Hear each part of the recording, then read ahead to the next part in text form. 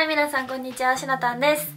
はい、今回はですね、今、爆流行りしています Y2K っていうのがあると思うんですけど、2000年代のファッションをリバイバルで、みんながすごい注目しているトレンドだと思うんですけど、私も何回か動画でも Y2K、Y2K って言っていて、主に今ファッションを取り上げてたと思うんですけど、ちょっとメイクもやってみようかなと思って、結構2000年代のメイクって特徴もあるし、今とは本当にもう真逆って言っていいぐらいのメイクだと私は思っているので、そこまでやってみたらどうなるのかなと思って、今回は2000年代のメイクから、フェアから、コーディネートも H&M でいろいろと Y2K のアイテムを揃えたりとかしてみたので、全部 Y2K っぽい施しをしていこうと思います。パッて思い立って今撮ってるので、うまくできるか不安なんですけれども、頑張ってやっていきたいと思います。よかったらぜひ最後までご覧ください。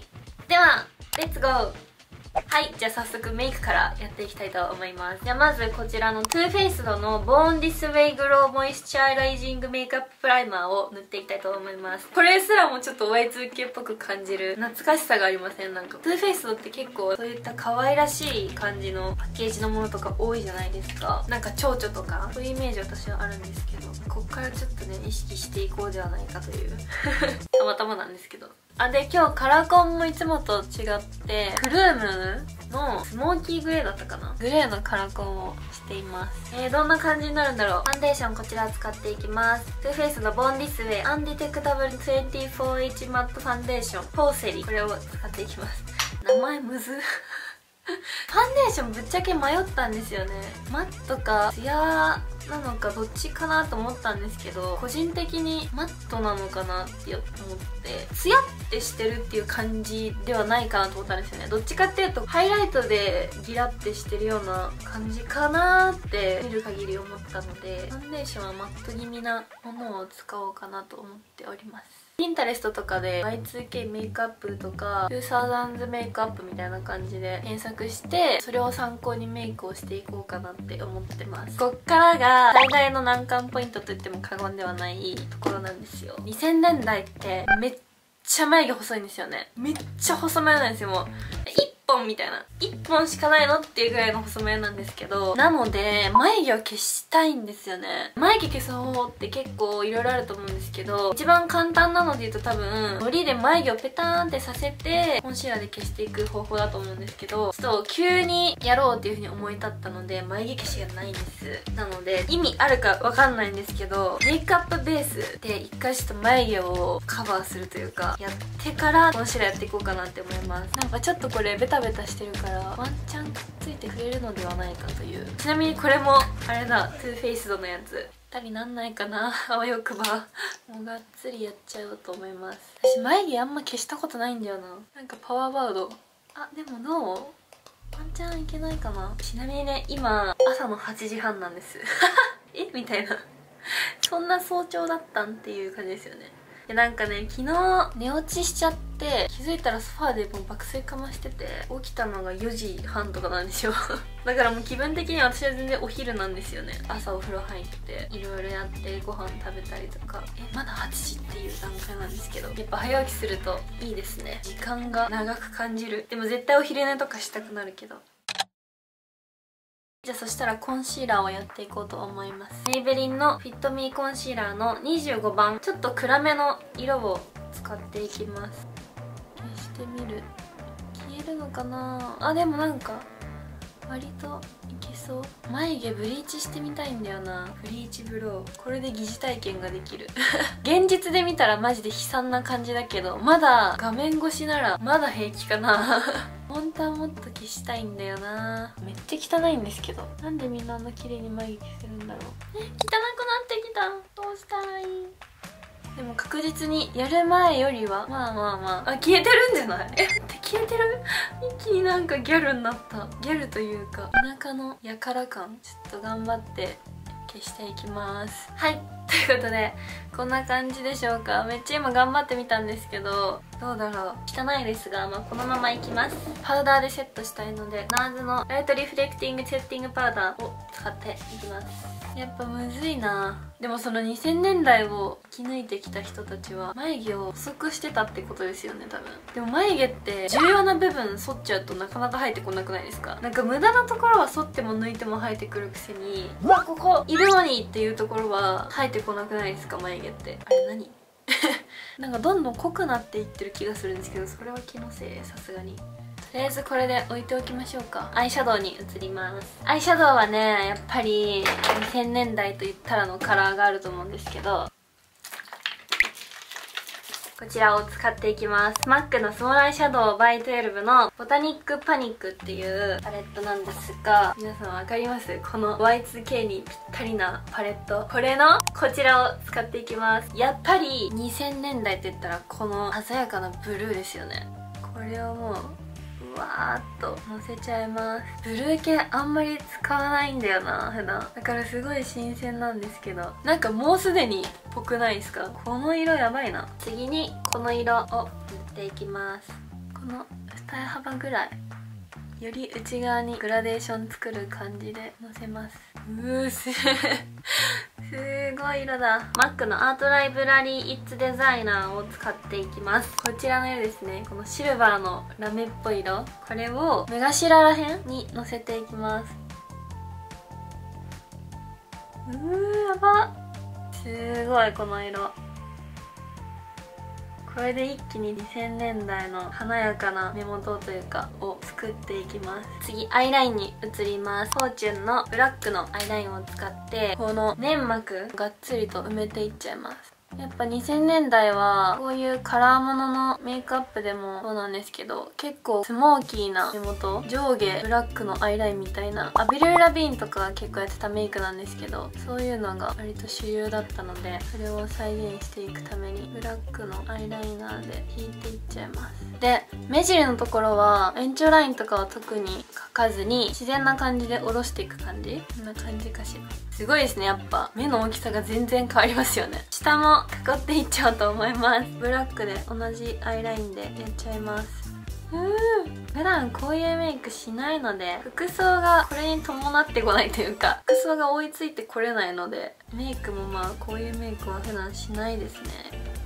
うんすごい。もうすでに誰って感じだけど。はいこんな感じで囲えたのでさっきのこちらのアイシャドウパレットのブラックの部分を使っていきます。今描いたラインを全体的にぼかしていきます。上のラインとかは少し広げるような感じでぼかす。私ね2000年生まれなんですよ。ちょうど生まれた年のメイクをやるっていうのがすごい新鮮ですよね。自分が生まれた年はこういうメイクが流行ってたんだとか考えるとそれはもちろんねちっちゃい頃だったから覚えてないわけじゃないですか。全員が全員こういうメイクってわけじゃないと思うけどこういうメイクの人もいたって考考えるとなんかすごい不思議。どっかの時代にタイムスリップできるってなったらみんなどこ行きます？何年代に行きたいですか？私はねやっぱ80年代のファッションとかすごい好きなんですよね。そのぐらいのファッションがすごい可愛くて好きでだからその時代ね生きてみたいなって思いますね。あ下もぼかします。今の年で2000年代にタイムスリップしてこういうメイクを全盛期でもうやってみたいなとは思うちょっと。なんか今はやっぱ Y2K が流行ってるって言われてるけどここまでがっつりって感じってあんまりいないと思うんですよ。なんか Y2K 系のテイストを少し入れるとかならあると思うんですけどここまでがっつりってなかなかいないと思うからもしかしたらこれからこういうのが流行るのかもしれないけど想像つかないじゃないですか。これが流行るって。あっという間に目が真っ黒になりました。下まぶたもう少し青みを足してもいいかなと思うのでこの色ラメ入ってたりするんですけどこれを取って下まぶたにのせていく。あめっちゃ発色いいこれ。どうしよう。想像以上に発色くてびっくりしちゃった。よし。アイシャドウはとりあえず OK えなんか不安になってきた。果たしてこれは Y2K メイクアップなのだろうか。大丈夫かな。マスカラを塗っていきます。まつげはあんまり長くないイメージだったんですよ私的に。多分目の周りが真っ黒だからまつげの存在がそこまで目立たないんだと思うんだけど。だからまあ最初つけまとかしてやった方がいいかなと思ったんですけど割とマスカラだけでも良さそうなんで一旦マスカラだけで様子を見ていきます。マスカラももうブラックでやっちゃいます。でこっからがやっぱり難関なんですよ。眉毛。眉毛はリセのアイブロウペンシル S を使っていきます。これでもう本当に細くて結構右上がりな感じの眉毛を描きたいんだけど眉毛がいるな 緊張する眉毛。イメージはもうほんとこういってこうみたいな。とりあえずこの上半分ぐらい。ちょっと無言になっちゃう。ここは本当に無言になっちゃうけど。やっていただきたい眉毛。もっとだよねきっと。えわかんない。ちょっと待って。ちょっと待ってちょっと待って。不安になってくるんだけど自分の眉毛とのガイドラインが違すぎて。大丈夫なんですかねこれは。パウダーでやりたくなってきた。マックのパウダーでやってみたいと思います。うわー眉毛消えきってないよなやっぱ。あでもどう？濃く描いたらまだいけるのかしら感じ。透明から見たらいける。すごい眉毛だな。でもどう？意外といけてる。初めてこんな眉毛にしたかも。本当もう透明で見てください皆さん。こんな感じで見て。じゃあシェーディングとチークをしていきます。 NARS のパレットを使うんですけれども。シェーディングとかはどうなんだろう？まあそこまで濃すぎず薄すぎずみたいな感じで。最近私ね結構ノーズシャドウ手でやるんですよね。なんか手でやった方がポイントについてくれるから変にぼやけたりとかしなくて割と綺麗にできる気がして最近手でやってます。ここら辺のシェーディングもいつも通りぐらいでそんなにはっきりとはやんないイメージかな。やっぱり2000年代といったらチークはピンクだと思うのでちょうどこのカラーがピンクでいい感じの色なのでこれを使すごいもう色の大渋滞なんだけど。ハイライトはどっちかって多分白っぽい感じの方がいいかなと思ったので MAC の Mineralize Skinfinish の Lightscapade を使っていこうと思います。私が持ってる中ではホワイトっぽい感じの輝き方なのでこれを使っていきます。でこの目のここら辺とかにも入ってるイメージだ。あと眉下かな？ここら辺にも入ってた感じする。いい感じになってきたのでは。じゃあ最後リップをしていきます。リップはねヌーディーなリップを使ってる人もいたし濃いめの色を使ってる方もいたんですけど質感的にはマットよりはツヤのある感じがいいと思うので一旦ちょっとこのマックのリップペンシルで縁取っていきます。この縁取りをしてあとのグロスだけで完成っていう人もいるんですよね。だからなんかね口の縁だけが色ついてて中が薄いみたいな感じの人もいたんですけどこれを塗ってみよう。シューの Rouge Unlimited 絹 Cream Taupe Couture。うん。色的にはいい感じな気がする。でもうちょっとグロッシーにしたいのでここからさらにグロスを重ねていきます。 MAC のやつなんですけど期間限定かなんかのやつで今ないかもなんですが結構もうたっぷり塗っちゃおうかな。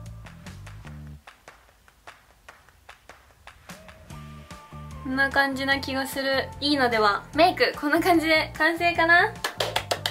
メイクできました。やばい。誰？じゃあちょっとこのままヘアをやっていきたいと思います。髪の毛は最近私もやっているんですがツンツンヘアをやっていこうと思います。ハーハープにしようかな。ハージーのワックスなんですけどこれこれをもうべっちょりとつけちゃって。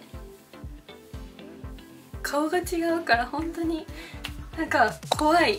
鏡で見て私じゃないみたいで誰？ってなっちゃう。前にあの「Get Ready With Me」でもこの髪型やった時に後ろを見たいっていうコメントをいただいたので今日は後ろを見せながらやっていこうと思います。ここを取ってまずは普通にハーフアップみたいな感じでやっていきます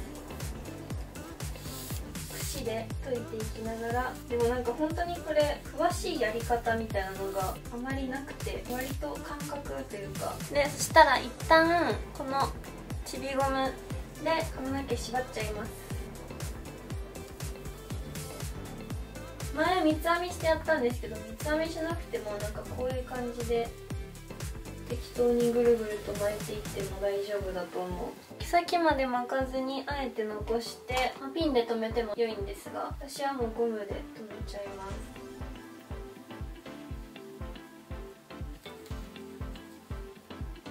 あとはなんか形とか微調整していきながら。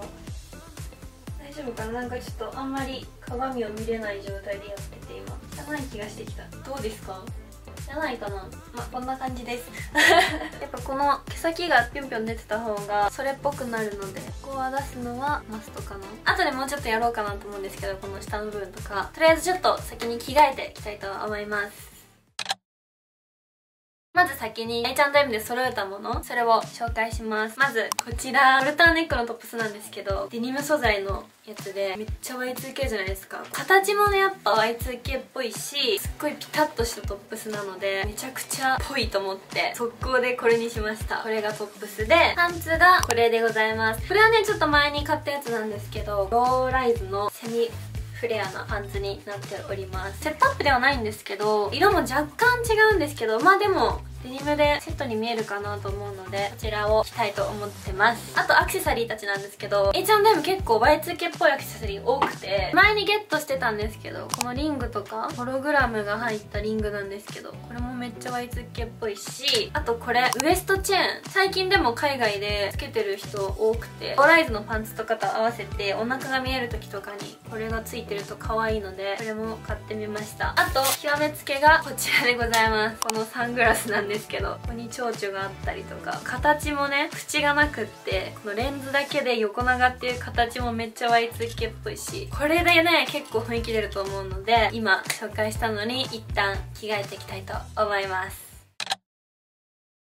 はい、ということで着替えました。これ1個だけだと胸元がちょっと心配だったので、中にね、ミニティを合わせました。ちなみにこれも H&M で買ったやつです。もうあと本当にちょっとで完成なんですが軽くだけこの毛先を外羽気味にしていきます。やっぱこの2000年代が一番ギャルって感じですよね。なんか日本もそうだけど海外でも一番ギャルって感じしません？この2000年代が。空前のギャルブーム来てますよね今。よしこんな感じかな。できました最後に。